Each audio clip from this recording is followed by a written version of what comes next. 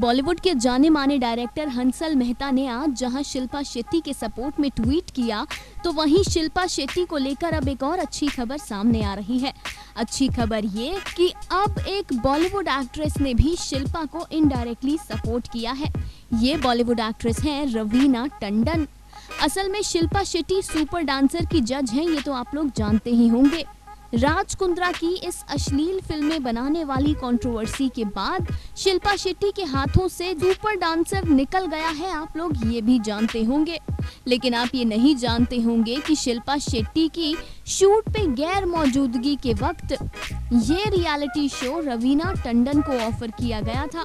जी हाँ रवीना टंडन को super dancer में बतौर जज आने के लिए अप्रोच किया गया था। लेकिन रवीना टंडन ने कह दिया, इसके लिए नो जी हाँ बड़ी ही पोलाइटली, रवीना ने मेकर्स से कह दिया कि ये शो शिल्पा का है और मैं चाहती हूँ कि हमेशा शिल्पा का ही रहे। ये कहते हुए रवीना ने शिल्पा शेट्टी के लिए अपना समर्थन दिया। वेल आपको बताते चलें कि एक वक्त ऐसा था जब रवीना और शिल्पा एक दूसरे को देखना तक पसंद नहीं करते थे।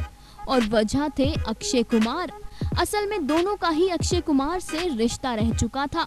लेकिन दोनों के फैंस तब खुश हो गए जब साल 2017 में सुपर डांसर के बीते सीज़न में रवीना टंडन ने बतौर गेस्ट शिरकत की और शिल्पा शेट्टी ने उन्हें बेहद अच्छे से वेलकम किया। इतना ही नहीं, दोनों इस शो पर अक्षय कुमार का मज़ाक तक उड़ाती नज़र आई। जब शो के दौरान रवीना टंडन ने ये कहा था कि हर इंसान अपनी ज़िंदगी में गलती करता है, मैंने भी की है तो शिल्पा शेट्टी ने कहा था कि कुछ गलतियाँ तो हमने एक जैसी की हैं, और दोनों ज़ोर ज़ोर से हंसने लगी थी। बस तभी साल 2017 से ही दोनों के बीच काफ़ी अच्छा रिश्ता है। Final cut news desk